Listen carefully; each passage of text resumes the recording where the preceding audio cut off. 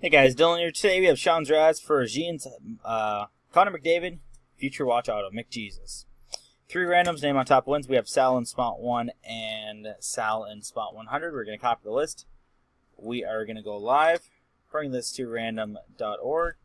Three randoms, 100 names. Good luck to you all. Let's get started. We have William on top after 1. We have Jean on top after 2.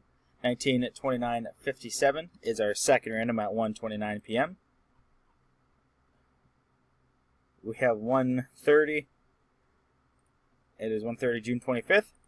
And the winner, good luck to you all. Winner is Gilroy Miller with spot number 14. Congrats to you, Gilroy. Please PM Jean and he'll be shipping out the card as soon as possible. Timestamp is 17.13 at 1.30 p.m. We have 1.30 and again, spot number 14 is our winner. Congrats. Make sure to PM Jean your info.